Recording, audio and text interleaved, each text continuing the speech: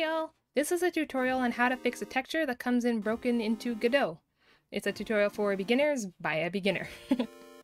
if you just imported your file and it just comes in busted for no particular reason, chances are it has something to do with the way the materials are set up.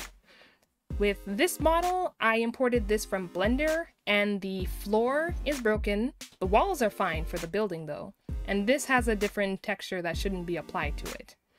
For a model that has only one material applied to it, it's like the bed, all you really have to do is just drag and drop the texture onto it and it'll fix itself immediately.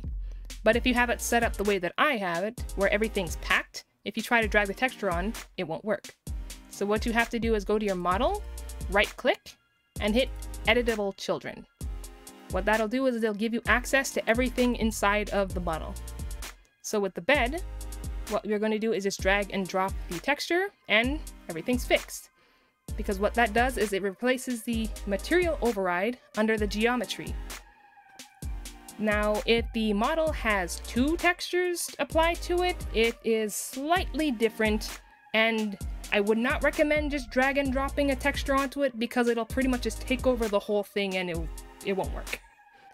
Now what you're going to have to do if your model has more than two textures is click on the model, go to Surface Material Override, and you're going to need to change one of these. Or if you have more than two, it's going to be zero to whichever amount that you have. Mine is split where it has two textures, zero being the floor, and one being the walls. If you're not sure which number you need to fix, the material should be set up the exact same way as your original file. As in, with my Blender file, texture 1 was floor and texture 2 was walls. Worst case scenario, you can just apply a new material to it and you'll be able to figure out which part it is you need to fix. Now what you're going to need to do is click on empty or the small arrow that's right beside it and assign a new material to it. You can choose whichever material depending on what your project requires. For me, I chose ORM Materials 3D. You can choose Material or ORM. They are functionally very similar, with some small differences in between them. If you don't see this pop up when you assign the material, you can click on the material to open it. Now what you're going to do is scroll down to Albedo, and you're going to change the texture file right here. What you can do is you can assign any of these depending on what your project requires. You can go to Quick Load to assign any of the textures you already have inside of your file, specifically being Godot, or you can go to Load and find the file on your computer. Another option is you can also find the file here, which is the floor for me, and just drag and drop it into empty, and it will assign it. One extra step you may need to do if you can't see your textures is go to Transparency and switch Cull Mode to Front.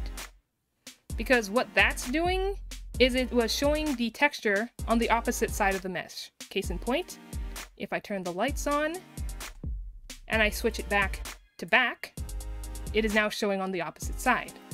You can also switch it to disabled and it'll show up on both ends. You may notice that when you apply your texture, it might come in maybe darker or a different shade than it's supposed to be. What you would have to do is go under Albedo and turn on or off Texture Force sRGB. For my file, it was already turned on. Now, slight extra, since my textures are pixel art, what you're going to need to do is go down to Sampling and change Filter linear mipmap to nearest. And now the textures aren't going to be blurry anymore. I have another tutorial where I talk about different ways to fix sprite blurriness in Sprite 2D and 3D in Godot. I'll put it at the end of the video and in the description. All of the steps that we went through on different ways you can change the textures also applies to single ones, because you can click on the material under the geometry node and you can do essentially the same thing and it'll still apply. Thank you for watching the video. I hope you all have a good day and I appreciate you being here. And as with my other video, if you all have any better way to do any of this, by all means, I am open to, to the comments on it. I hope you have a good day. Take care.